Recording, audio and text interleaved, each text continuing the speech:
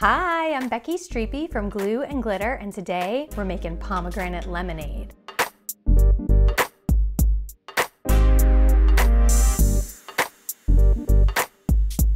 Y'all, this lemonade is sweet and it's tart and it's super refreshing. It is the perfect thing to sip on a hot summer day. And the best part is that there are no refined sugars at all in this recipe. Before we get to the recipe, I did want to talk a little bit about what I mean when I say refined sugar-free.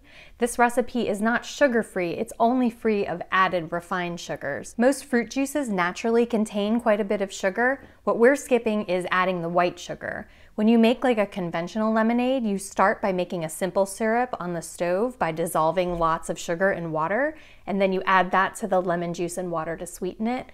This recipe is juice sweetened instead. That means you don't have to make a simple syrup and it cuts the recipe time down to like five minutes. This recipe makes quite a bit of lemonade, so if you need to make a smaller batch, it divides very easily. Just divide everything down to make as little as you need. You can also multiply it if you need to make more for like a party or something. All right, y'all, let's make some pomegranate lemonade.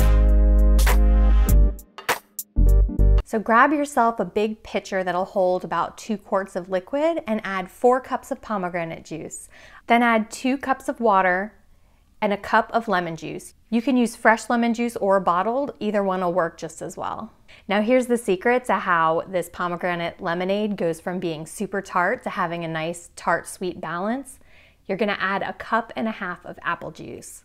Apple juice has a nice mild flavor, but it does bring a lot of sweetness to the table. It's perfect for sweetening a drink without having to make any kind of a syrup. Give everything a good stir and you are ready to pour.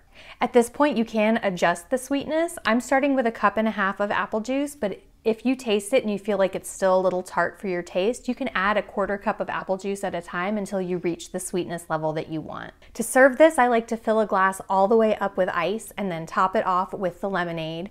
Add a lemon wheel to your glass if you're feeling fancy, and if you're feeling extra fancy, spoon some fresh pomegranate seeds on there. The pomegranate seeds, as you're sipping, will kind of sink to the bottom and turn this almost into like a boba kind of a situation. If you do have any leftovers, just stick the pitcher into the refrigerator and it'll keep for about a week. Just make sure that you give it a stir before pouring because it'll separate out a little bit in the fridge. I hope that this video has answered all of your questions about how to make this juice sweetened pomegranate lemonade. If you have any questions I didn't address, feel free to drop a comment. I'm always happy to help. And don't forget to rate and subscribe. Happy cooking!